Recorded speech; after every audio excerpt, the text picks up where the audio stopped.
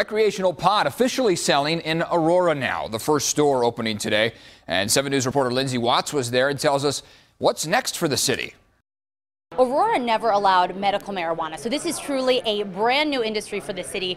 And part of why it took a little extra time for shops to start opening. The city gave the green light for sales to start back on October 1st. This morning we have seen a steady stream of customers, no big lines like we saw on the first day of sales in Denver. There is a network news crew that's here shooting a documentary, so that has added to the activity. There were two guys that showed up about an hour before opening so they could be the very first in line. One of them tells me he has waited a long time for Aurora to take this step. I love it.